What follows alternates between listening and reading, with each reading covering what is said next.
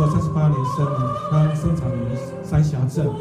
他的父亲呢，曾任三峡镇的镇长，曾将当时呢为地方的望族。感谢主，我们姊妹是二零零七年的第二次的出生，得着重生。下面是我们姊妹从小到大的照片，这是他全家福的照片，这是他家中的姊妹们。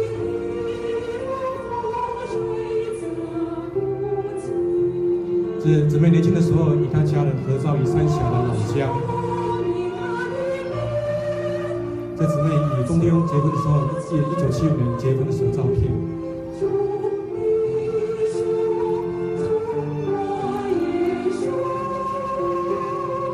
这是他们家中唯一的孩子，钟耀芳还小的时候，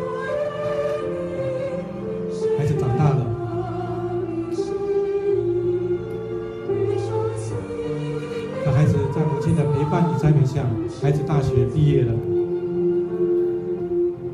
这东优中要要利用在美国受尽，在二零一七年十月二号。好，当信靠主耶稣，你和你一家多必得救。感谢主，主的救恩是以家为单位，因众属弟兄及孩子双方弟兄均已受尽归入主里，全学姊妹也欢然的接受主。一同有份于神的国，同享神的救恩。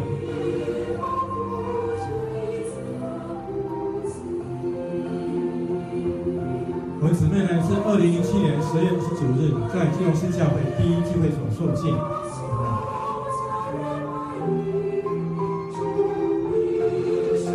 这是在二零一一年九月十八，他跟着我们 C 的弟兄姊妹去出外乡的活动照片。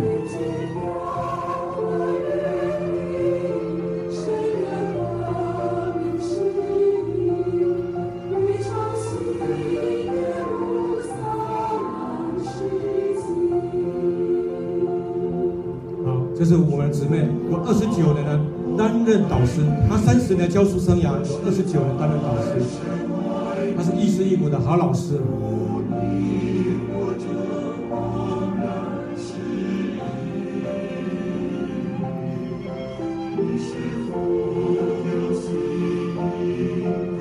我姊妹是从清晨到夜晚，常常陪伴在孩子身边。他是从早上七点多监督学生的打扫。及早自习，他也常在走廊询问学生功课及生活作息。他常与学生的家长来联络，一同关心学生、辅导学生。所以他的班上，他的整洁跟秩序也是常常得第一名。甚至有的运动会大队接力也会得第一名。他会常常安排学生的各科的小考，监督学生来订正考卷。所以班上的成绩及升学率也是常常得第一。不仅如此，最重要是放学后呢，常陪伴学生来夜读。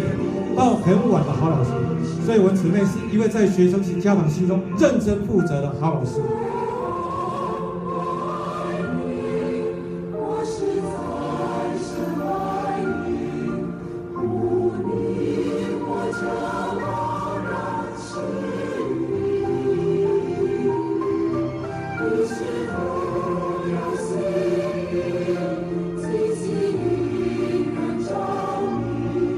这是民国九十年六月开的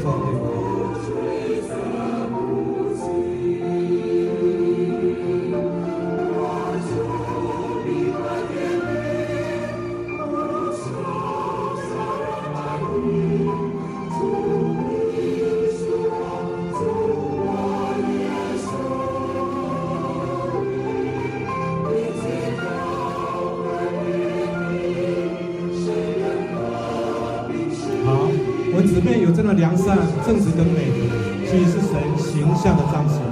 就像手套是照着手的形象造的，手套的目的是来盛装所。所以神说，我们要按着我们的形象，照着我们的样式来造人。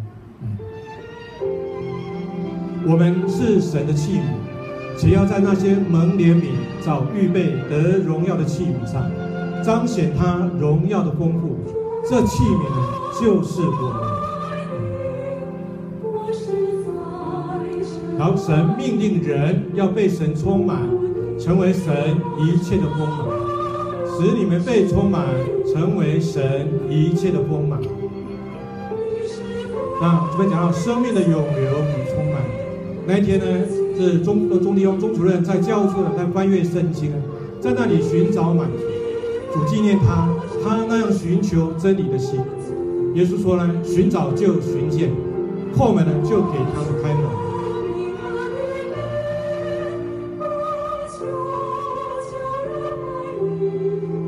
像我们中间得救了以后呢，他就极力劝服了他在美国读书的儿子，而且他儿子要在找教会，要信耶稣。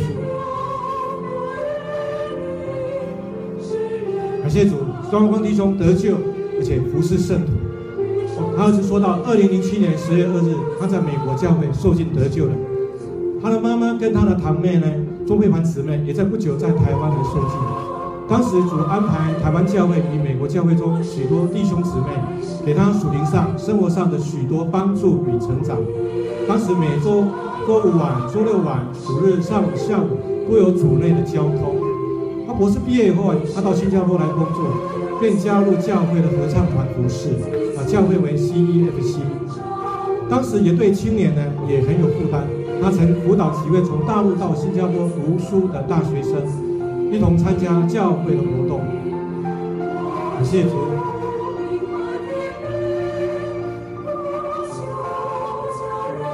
好，神的生命是流而又流，只涌入中弟兄全家，最终他们一家三口全家都得救了。那愿主祝福中弟兄和陈金雪姊妹一家，愿他们世世代代的都侍奉耶和华。下面我们讲一段叫人得着鼓励和安慰的话：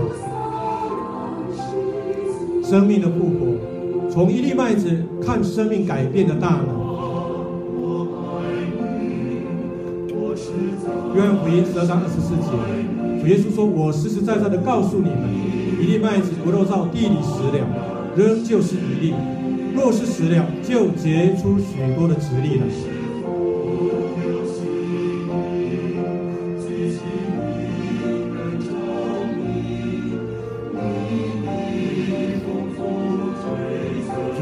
那真正的麦粒，他是首先复活的一位，他落到地里死了，却结出许多的籽粒来。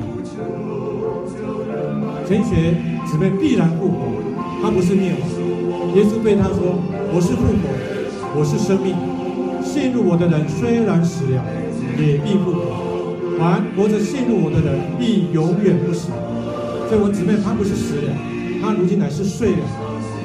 在修路中所种的是属魂的形体，在荣耀中所复活的是属灵的形体。经常说属灵的复活也是这样，在朽坏中所种的，在不朽坏中复活；在修路中所种的，在荣耀中复活；在软弱中所种的，在能力中复活。所种的呢是属魂的身体，但是复活呢是属灵的身体。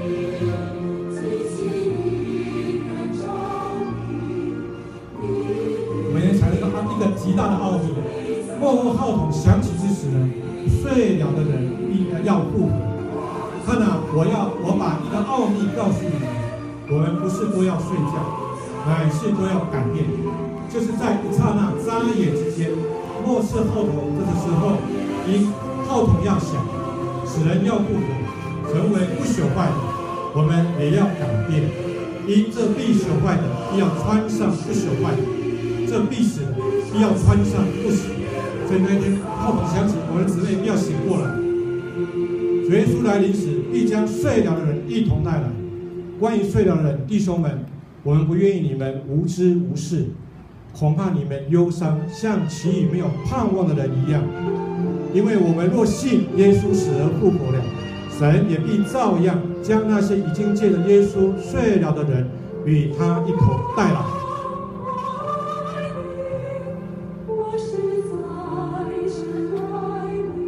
最后啊，感谢主，在新天新地，在新耶路撒冷，大家还要从同我们陈学姊妹遗嘱再来相聚。感谢主。